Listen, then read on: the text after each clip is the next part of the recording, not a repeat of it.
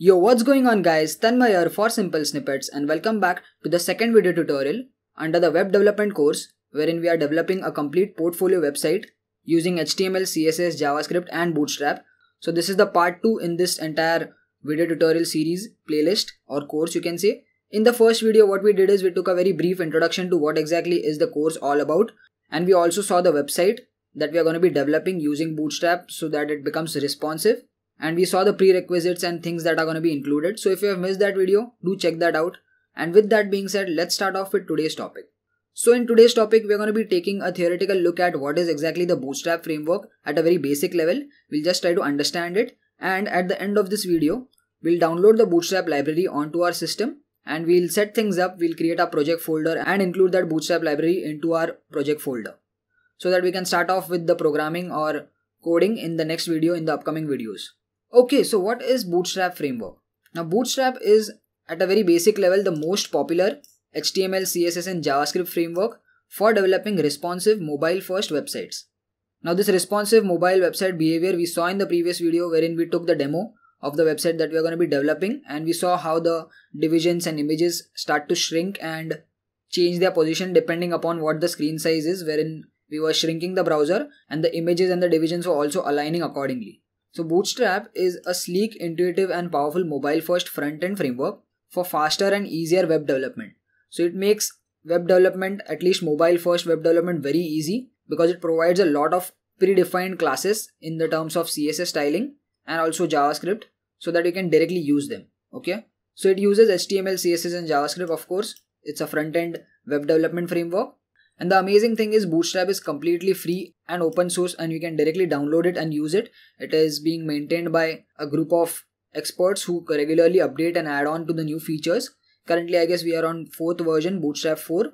So it keeps on changing over the course of time. So if you're watching this video in future maybe there would be some new version of it. So what does this Bootstrap framework include? So one of the most important thing is the grid system. So Bootstrap provides a basic structure with grid system which is a responsive mobile first fluid grid. So this grid changes its structure according to the size of the screen. So if you're watching it on a mobile, that is if you're loading the website on a mobile, the structure of the grid changes to adapt to that mobile screen. Okay. If you're watching it on a tab, again the structure changes and that changes can be controlled by us. And what happens is the grid system divides the entire screen into 12 columns. Remember this 12 columns, we're going to be needing this in further videos and it takes the size of the device or the viewport size okay? We'll discuss more in detail when we move ahead in the next video about the grid system. Moving ahead we have custom css now bootstrap also comes with features of global css settings and a lot of css styling which is already predefined in the bootstrap library which we will be directly using and it will make a lot of things very easy for us in the development perspective. Then we have components. So bootstrap contains over a dozen reusable components so they are directly drag and drop kind of components which we can directly copy paste into our system, into our code. And that's what we are going to be doing a lot because you also want to do smart development. You don't want to type everything, right?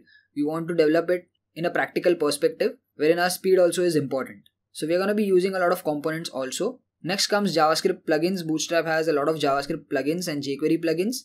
And we also have the option of customization. So we're not going to be customizing a lot of things in this video tutorial series. That's kind of like advanced topic. But you have the option to customize a lot of components according to your needs according to your application.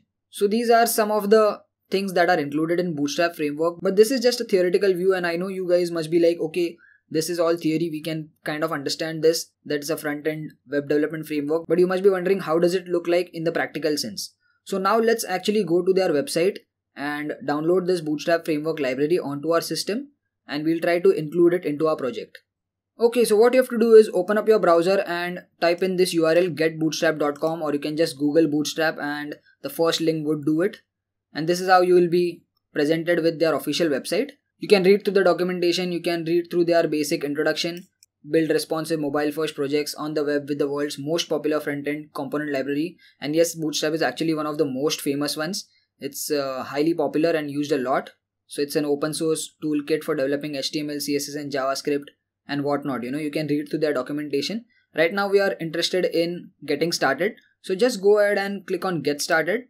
So in terms of practical sense, this Bootstrap framework is nothing but set of CSS and JavaScript, which is pre-written by these experts. which we are directly going to be using into our project. That's about it. You know, in terms of practicality, the framework is nothing but pre-written code in terms of CSS and JavaScript, which we are directly going to be using. Okay. So just scroll down over here and you can see there is this starter template. What you can do is just copy this entire thing. You can click on this button or you can select it all. Go to your folder, create a folder. I've created a test code folder. Inside that we have default.html. Now what you can do is you can entirely drag and drop this into your Visual Studio Code. So that's what I've done over here. So you can see this is a blank default.html. Just paste that entire starter template and this is how it should look like. Okay. So once this is done, you can just run it with the live server plugin. If you don't know what live server is, go to this plugins extension section and type in live server. Make sure you're connected to the internet. And this is that live server plugin by Ritwick Dey. Click on it, just install it and restart your Visual Studio Code then what you have to do is again go to your folder project folder drag and drop your entire folder over here and then you'll see something like go live over here okay? So right now i'm already live. You can see you'll get an option of go live over here. Just click on it and then your browser will be opened up with this entire code running in. So what this live server plugin will do is it will make your code dynamic. So whatever you change over here immediately it will be reflected into your output. So you don't have to save this and go ahead and refresh your browser. So let me just show you the browser also. So you can see hello world is already written over here because it is there in our body in the h1 tag and there's a lot of script over here. We'll go through it one by one right now. So this is their starter template which we just directly copy pasted from their getting started page. So once you run this once you go live what is happening is you are creating a local server onto which your file default.html is running. And one more thing that you can do is you can go to your settings go over here click on the settings button icon go to the settings and type in save in the search box.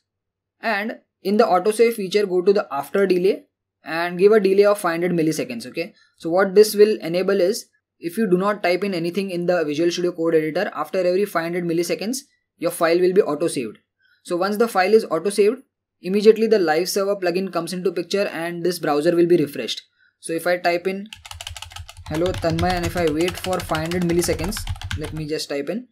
You can see the title got changed if i just copy this and paste it in the h1 tag immediately you can see without me coming here and refreshing this browser the changes were already reflected so this will increase your development speed because we want to be smart programmers also we don't want to waste a lot of time so this is possible because of this Visual Studio Code IDE or code editor, text editor. If you're using any other text editor like Sublime Text or Notepad++, the only extra thing that you'll have to do is you'll just have to save this file and then refresh the browser. That's about it.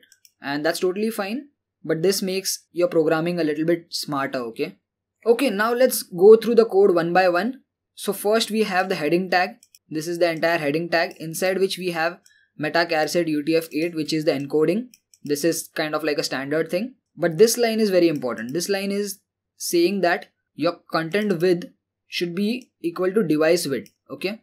And the initial scale, that is the actual scaling, should be one which is equal to what exactly it is. If you increase that, it will be scaled up or scaled down. Okay. And the meta name has to be viewport. Now you can Google this up. This is sort of like a by default thing that is needed when you're working with Bootstrap and responsive websites. So the next thing is the bootstrap css file okay now what is happening is in order to use bootstrap into your project there are two simple ways either you use a cdn so a cdn is basically a server which is on the internet it's a content delivery network. That's what the full form is of a cdn it is basically a high speed server on the internet where this bootstrap css file is located. So you can see this entire url this is where this css file is located. Now this integrity and cross origin thing is something related to security. You don't have to worry about it. But what we are basically doing right now is if you have internet this will work. If you don't have internet this will not work okay? So essentially what we're doing is we are working online right now. So the css file is online what we are wanting to do is we want to actually download this file onto our system and use it offline because we are in development scenario. So usually when you are working in development environment you work offline you don't work online. So the way you go about this is what you can do is you can copy this entire url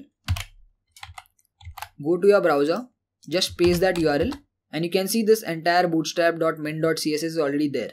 Right click on it, just click on save as, go to your test code project folder, inside this create a new folder named bootstrap. Okay. Go inside that. Create a new folder of css let's make it properly structured because this is the structure that we're going to be using throughout the entire series.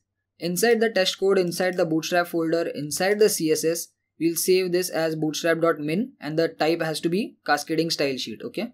Just save it. So one thing is done. Let's see the code again. So this is the head tag wherein last thing is the title this is that title.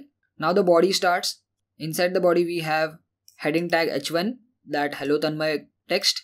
And you can see there is a different font and that is happening because we've included the bootstrap css so it changes the font it changes the look and feel of the entire website by default okay? So if i just remove this you'll see that the font changes right so it's all because of css that the styling is already implemented. Now coming below we have three different script tags. So the first code is the jquery library that is the jquery.min.js which is a slim version. Basically the difference between a slim version and the actual version is some parts of the jquery code are cut out. Now if you don't know what is jquery jquery is a javascript library which is again open source and we can directly use it. So if you want to get into details i have a complete series on javascript and jquery on Telusko learnings i'll drop the link. You can just go through it. We are not going to be using a lot of jquery javascript in this entire series so you don't need to know a lot. But if you just want to know a little bit more you can go check out those videos. So again just copy paste this entire link. Go to the browser just paste it and you can get the entire library over here. And this is all because we are online. You need internet connection for this. Go ahead and save it. Now go to the bootstrap folder and create a js folder okay? Let's keep the css and javascript different.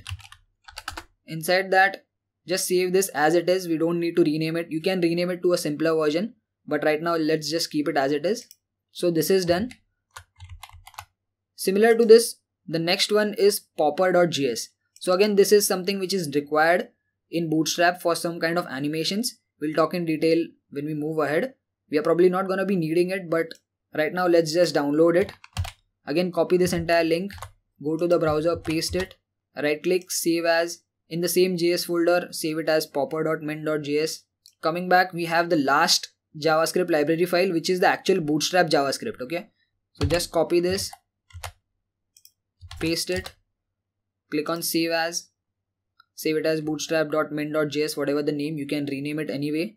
And now we have basically downloaded all these files. One css bootstrap file and three javascript files which are required for bootstrap okay now note that the order of these JavaScript files should be in this same order only. That is first the jQuery, second the popper.js file, and last the actual bootstrap.js file. Okay.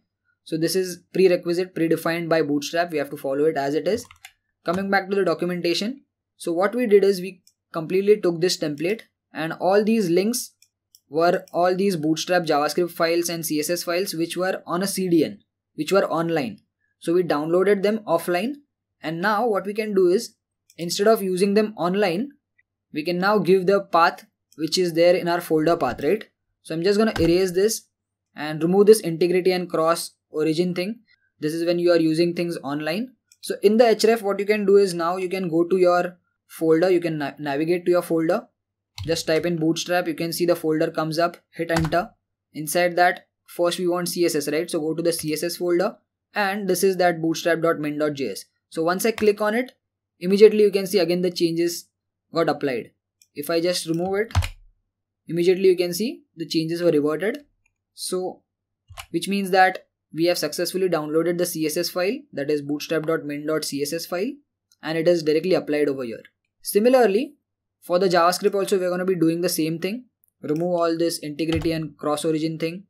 In the URL you just have to give your offline URL, go to the bootstrap folder in the JS.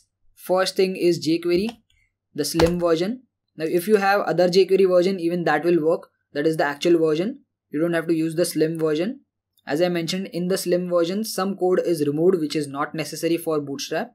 For the second one, we have in the bootstrap folder in the js folder popper.min.js remove the integrity and cross origin again. We don't need this. And for the last one we have bootstrap.js bootstrap.min.js again removing all this extra stuff. Okay, so this is our complete setup. And this is the complete template. And everything that we are going to be working on henceforth in the further videos is going to be on this template. So I hope you've understood this entire tutorial.